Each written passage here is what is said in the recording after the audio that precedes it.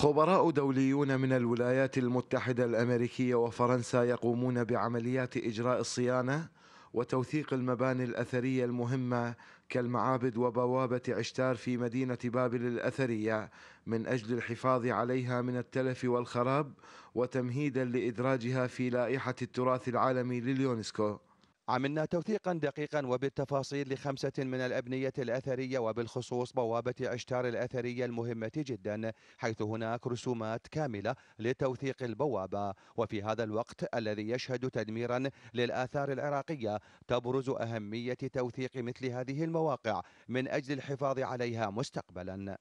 وعمل صندوق النصب العالمي بالتعاون مع فريق الآثار العراقي على صيانة معابد عشتار ونابوشخاري وأسد بابل وحماية المواقع الأثرية من عبث الزائرين ورفع الصب الكونكريتي الذي ساهم بانخفاض نسبة الرطوبة والمياه الجوفية والأملاح في المباني الأثرية.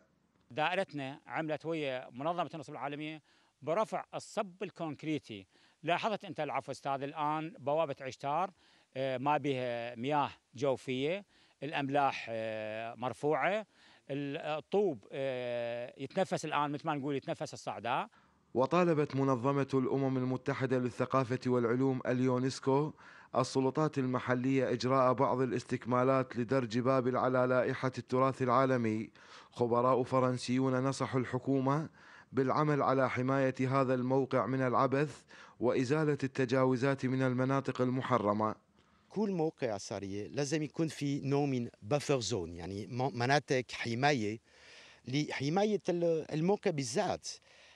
في كذا مواضيع العلاقات مع الحماية ولكن أكثر شيء هو حماية البيئة وحماية عدم تجاوزات بناء ضمن هذا المناطق المحمية وتحتل مدينة بابل الأثرية مكانة رفيعة في جسد حضارة بلاد الرافدين لما تمتلك من معابد ومواقع أثرية مهمة لكنها تعاني اليوم من الإهمال وكثرة التجاوز عليها من قبل الأهالي.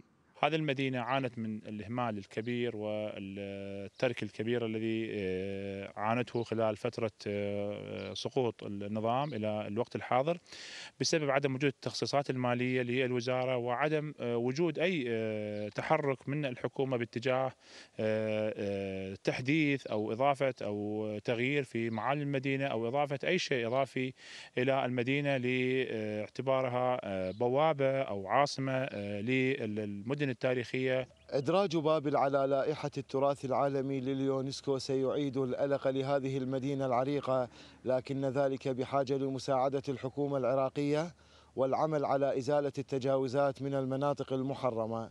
من داخل مدينة بابل الأثرية ميثم شباني الحرة.